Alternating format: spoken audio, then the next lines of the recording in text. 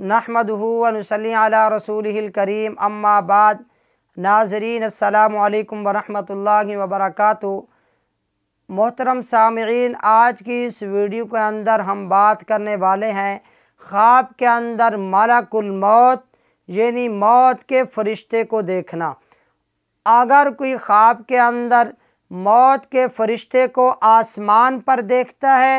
और ख़ुद अपने आप को ज़मीन पर देखता है तो ये इस बात की तरफ़ इशारा है कि उस साहब ख्वाब के पास जो कोई अहदा, कोई मकाम और मनसब था, वो उससे जल्द माजूल होने वाला है, वो अहदा उससे छिन जाने वाला है। हाँ अगर उस मालाकुल मौत, यानी मौत के फरिश्ते हज़रत इसराइल सलाम को अपने पास ज़मीन के ऊपर देखता है कि वो उसके साथ खड़ा है या उसके साथ बैठा है। तो ये इस अमर की दलील है कि उस सहब ख्वाब की मौत का वक्त करीब आ चुका है। वो जल्द इस दुनिया से जाने वाला है। इसी तरह अगर किसी ने मालाकुल मौत से लड़ाई लड़ी, कुश्ती उससे की और मालाकुल मौत ने उस सहब ख्वाब को नीचे गिरा दिया, उस पर हावी हो गया है तो ये इस अमर की दलील है कि उस साहब ख्वाब की जल्द मौत वाक़ होने वाली है। हाँ अगर वो साहब ख्वाब उस मलकुल मौत पर हावी हो गया, उस मलकुल मौत को साहब ख्वाब ने गिरा दिया है तो बाज़ ताबीरदान ये भी बयान करते हैं कि वो साहब ख्वाब बीमार होगा मौत के करीब पहुँचेगा, लेकिन वो सेहत याब हो जाएगा, उसे दोबारा ज़िंदगी मिल जाएगी। हाँ अगर उसने मलकुल मौत को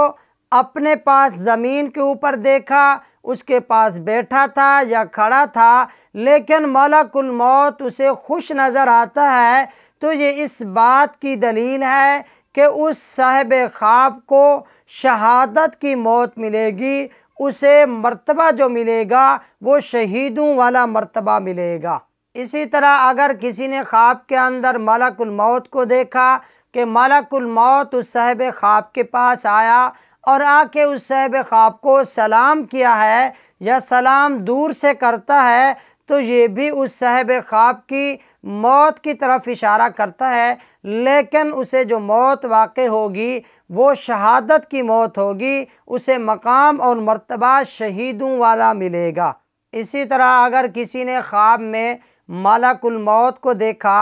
और मालाकुल मौत ने उसे कोई मीठी चीज़ दी तो ये इस बात की दलील है कि उस साहब ख्वाब की जो मौत आएगी, वो मौत और उसकी रूह आसानी के साथ निकलेगी। अगर साहब ख्वाब ने मलकुल मौत को गुस्से की हालत में देखा कि वो गज़बनाक और गुस्से वाली, वाले नज़र आ रहे हैं तो ये इस बात की दलील है कि उस साहब ख्वाब की जो मौत और रूह निकलेगी, वो आसानी के साथ नहीं निकलेगी, बल्कि सख्ती के साथ उसकी रूह परवाज करेगी। इसी तरह अगर कोई कड़वी चीज़ हज़रत इसराइल सलाम किसी को ख्वाब में देते हैं तो कड़वी चीज़ का ख्वाब में हज़रत इसराइल सलाम के हाथों से मिलना, ये भी रूह के सख्ती के सख्ती से निकलने की तरफ़ इशारा होता है कि उसकी रूह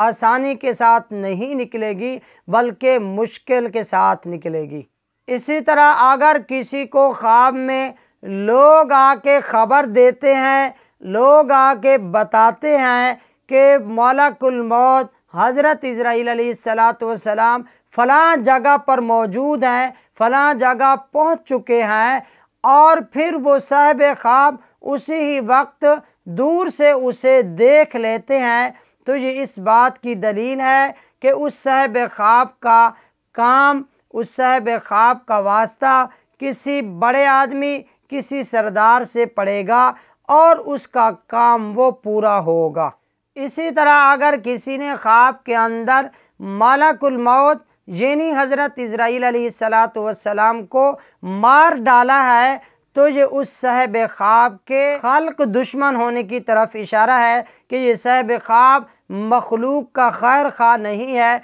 बल्कि मखलूक का और अवामनास का दुश्मन है। तो दोस्तों, ये थी ख्वाब के अंदर मौत, यानी हज़रत इसराइल सलाम को ख्वाब के अंदर देखने के हवाले से चंद मुमकिन ताबीरें। अगर आप भी किसी ख्वाब की ताबीर जानना चाहते हैं तो हमारा व्हाट्सअप नंबर स्क्रीन पर शो हो रहा होगा। इसी नंबर पर आप रबता करके अपने ख्वाब की ताबीर पूछ सकते हैं। आखिर में तमाम दोस्तों से छोटी सी गुजारिश, अगर आप हमारे इस चैनल पर नए हैं और अभी तक इस चैनल को सब्सक्राइब नहीं किया तो सबसे पहले इस चैनल नवाज़ ऑफिशियल को ज़रूर सब्सक्राइब कर लें। साथ लगे हुए घंटी के निशान पर ज़रूर क्लिक करें ताकि हर नई आने वाली वीडियो की अपडेट आप दोस्तों को सबसे पहले मिलती रहे। अल्लाह ताला आपका और हम सब का हामी हो नासिर हो और आपकी और हम सब की हर जायज़ हाजात को पूरा फरमाए। आमीन या रब्बल आलमीन।